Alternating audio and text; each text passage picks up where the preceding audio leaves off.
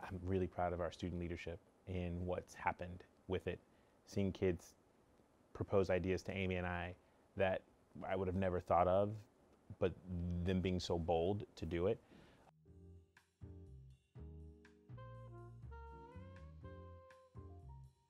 You know, it's it's hard to say what am I most proud of that I put in place per se, because I couldn't do anything by myself without the team.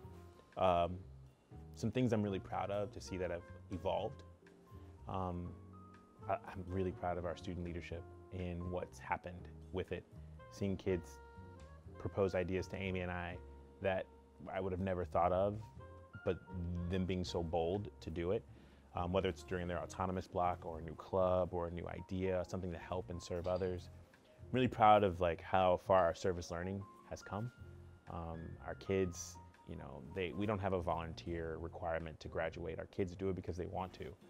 And I, I don't know the statistic now, but I know a few years ago with Andy, Andy Kennedy, he, he told us that 42% of our kids were serving in the community on a sustainable level.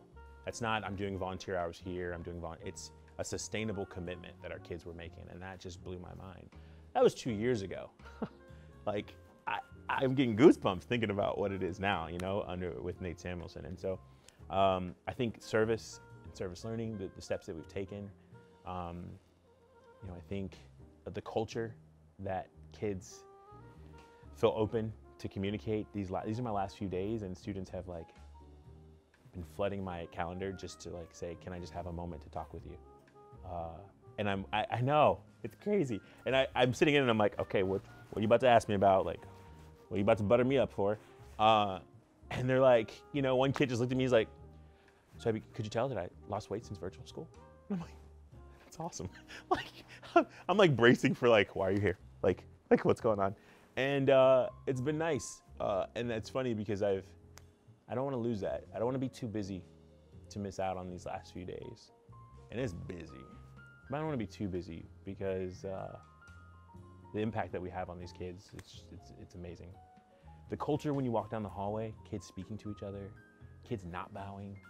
Um, when you look at decisions that are made on panels like Human Rights Week or uh, club leadership, you see that it doesn't matter if you're a senior or a junior. There's still some of that, right? We, we, have, we have more work to do.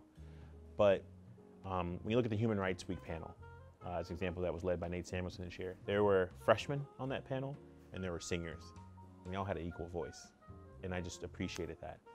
Um, I can go on and on. Like, you know, there was a theme that we had last year, over the last two years, action over awareness with our clubs. Like, everybody wants to raise awareness about what's happening in the world, but we're better than that. Like, what are you going to do with it? How are you going to serve others? And so, seeing our kids kind of embrace that was evident when I heard them say it on their own. You know how Mr. Poullard always says, action over awareness, uh, or you know how, you know how. And I just, I love that. I love seeing that our kids are internalizing things that move beyond the, the grade, the content in the course, the curriculum, the, the standard, the things that they're not going to remember 100% 20 years from now. But really diving into some things that are more of the soft skills that we value and really um, transferable skills that will help serve them down the road. Yeah, I don't know. I could talk about, there's lots. It's so good. Yeah, this is awesome. It's awesome.